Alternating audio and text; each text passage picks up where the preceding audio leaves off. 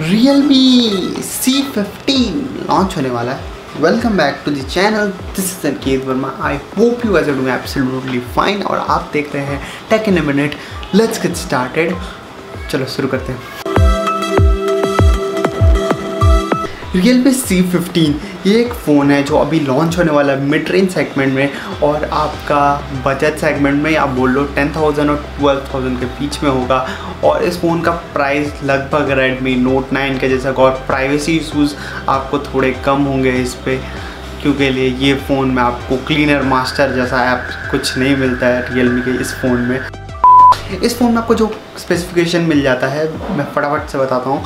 आपको इस फ़ोन में मिलता है मीडिया टेक का जी एटी फाइव प्रोसेसर और आपको मिलने वाला सिक्स थाउज़ेंड एम एच का बैटरी एटीन वाट का चार्जर बॉक्स के अंदर इस फ़ोन में आपको मिलने वाला है।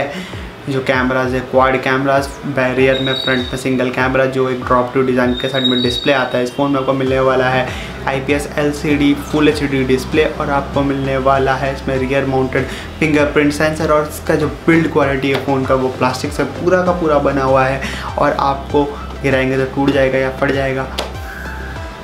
हो सकता है।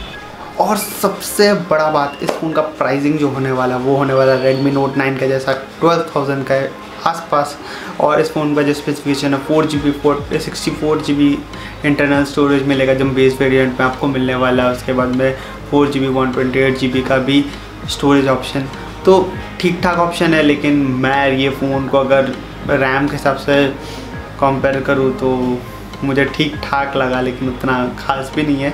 आप कॉन्सेंट्रेट कर सकते हो, इस प्राइस में आपको बहुत सारे और भी फ़ोन मिल जाते हैं। तो जी एटी फाइव एक अच्छा प्रोसेसर है। मेरे हिसाब से। जी हम लोगों ने जी सेवेंटी देखा और जी एटी देखा तो अच्छा प्रोसेसर था। ये भी अच्छा प्रोसेसर है। तो गेमिंग प्रोसेसर आपका गेम में अच्छा से चल जाएगा इस फ़ोन पे। और ठीक ठाक फ़ोन है। मैं रेकमेंड भी करूँगा। हाँ ना दोनों में इस फ़ोन का ये कि ले भी सकते हो नहीं भी ले सकते हो। और 2000 मिला के आप पोको एम ट्वेंटी ले लो। और बहुत सारा फ़ोन है यार। आगे दो तीन हज़ार ऐड करके ले सकते हो आप। सो so, यही है। Thanks for watching this video catch you guys on next video और नए हो तो सब्सक्राइब का बटन दबा के जाना और बेल आइकन को प्रेस करते हुए जाना। तो मिलते हैं अगले वाले वीडियो पे, जो नेक्स्ट कभी भी आ सकता है। आजकल।